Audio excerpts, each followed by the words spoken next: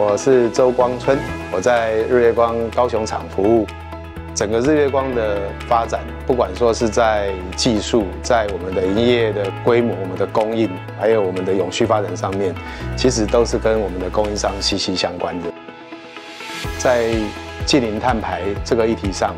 那日月光已经有承诺，在二零五零年达到近零碳排，希望跟我们的供应商一起降低永续风险，提高永续韧性。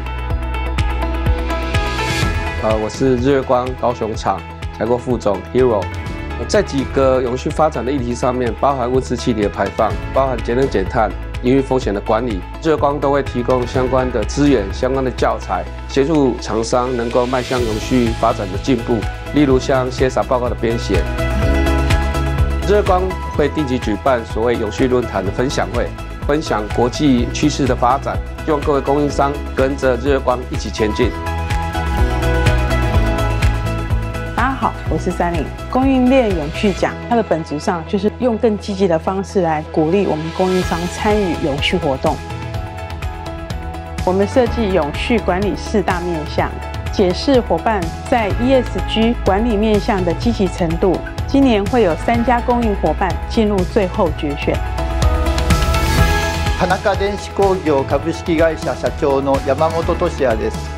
田中電子工業はテッド開設以来10年にわたり PCC 線を ASEK 様に供給してまいりました。今回田中電子は ASE 様に表彰の候補に選ばれました。これからも ASE 様の要求に満足できるように頑張っていきます。大家好，我是陈俊成，我目前是啊默克台湾半导体材料事业部的总经理。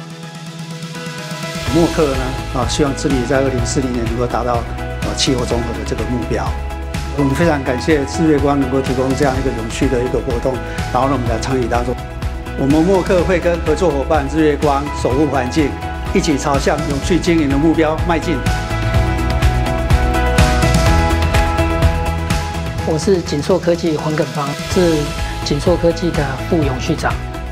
透过产学合作啊，来培养一些 ESG 的人才，希望未来能够与日月光共同合作哦，那以日月光为榜样哦，那共同推动哦 ESG 永续的工作，未来能够达到永续紧缩的目标。